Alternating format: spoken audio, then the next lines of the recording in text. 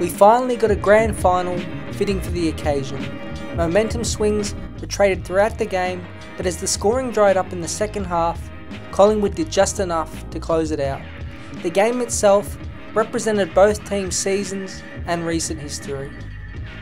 It was the 2022 recruits of Collingwood that all played important roles in winning the match. Not many people would have thought that Bobby Hill, Tom Mitchell, Oleg Markov, and Billy Frampton would be Premiership players at the Magpies in their first season. Bobby Hill was unstoppable all day. He just kept buzzing around and always seemed to have space and time. He could have easily kicked 6 or 7, but his 18 disposals and 4 goals were spectacular. In many ways, he is this season's Tyson Stengel, and for a future second round pick, he has already paid his price. It makes it even more admirable he beat off a bout of cancer in May last year. He is tough. Tom Mitchell was sub in round 18 and was subbed off in round 19 and 21. His position at this time was shaky, but he steadied from then on, and his one on one with the Brownlow medalist was impressive. He outplayed Lachie Neale, not only restricting him from getting the ball, but the 24 touches of his own, including 7 clearances and a game high 13 tackles, were impactful. It was a big time role that he performed perfectly. Not bad for a couple of third round picks. Oleg Markov was solid again, and although Billy Frampton had only two disposals and a few horrible drop marks, he did at least put a big body on Harris Andrews all day. Although, if Collingwood did lose, I'm not sure his role would have been as highly appreciated as it has been. But all four were either unwanted or looking for a fresh start, and in just 12 months had become Premiership players. Craig McRae turned to Bobby Hill in the post game press conference, looking him in the eye, saying minute by minute, then moment by moment. It's officially no fluke, Collingwood wins all these close games. After a 2022 full of them, you could argue it was luck, but with the 2023 finals run of an average winning margin of just 4 points, they clearly have a plan and don't muck it up. The big moments in the game were won by Collingwood. The two goals at quarter time and half time were uplifting. Jordan Goey's answer to Charlie Cameron swung late momentum, and then Steele Sidebottom kicking a huge goal from a Jarrod Berry 50 metre penalty gave the Pies scoreboard space. They did get lucky with the advantage call on Zac Bailey, but Nick Daicos' composure was phenomenal.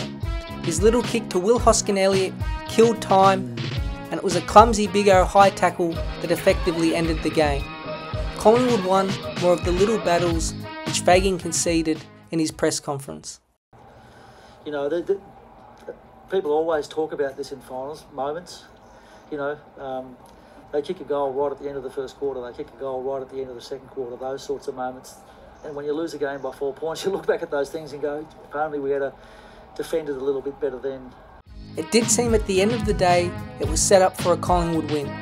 Peter Moore was selected to hand over the Premiership Cup, and it's likely the last time we see a father hand over the cup to his own son. And it makes Darcy Moore a Premiership captain in his first year with the responsibility, becoming the eighth player to do so. The Daicos brothers joined their father becoming Premiership Pies, while veterans in Scott Pendlebury and Steele Sidebottom get their second Premiership 13 years after their first. Sidebottom was terrific but go back and look at Pendlebury's 11 disposal last quarter. He was the best player on the field. And the mic drop moment was from Craig McRae as he announced on the presentation stage that his wife had given birth earlier in the morning to a girl. Today was always, uh, sorry, today was already the best day of my life because my wife gave birth to a little girl this morning at 7.45. So darling, I'm coming over tonight with a cup. I love you. The stars aligned for Collingwood to win, and they did.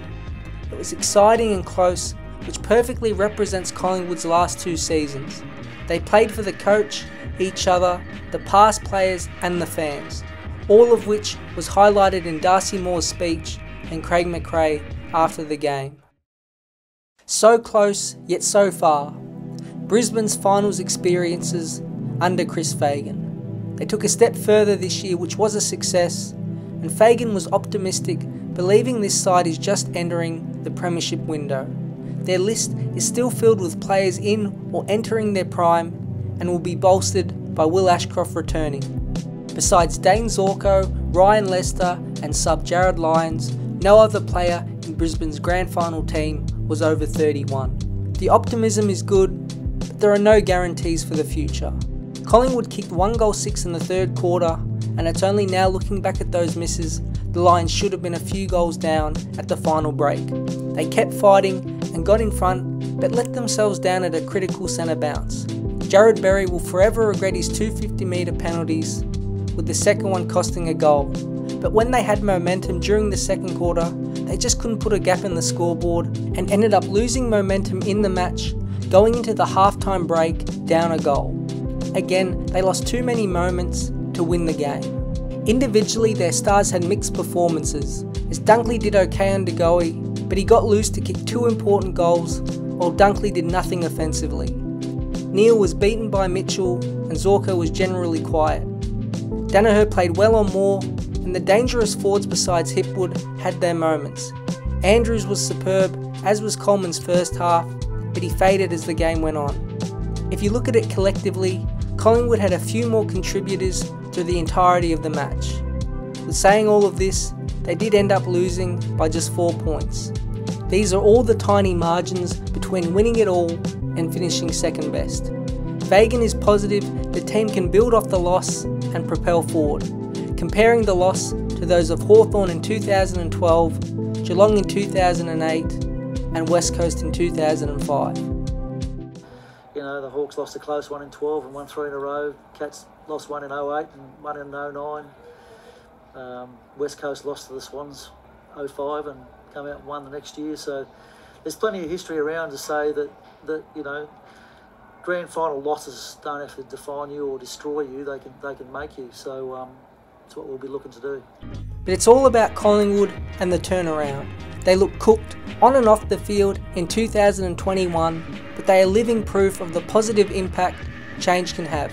They got rid of bad contracts, brought in a fresh senior coach, and created a culture, environment, and game plan that the players, staff, and fans have bought into. Every aspect has culminated together to get this result.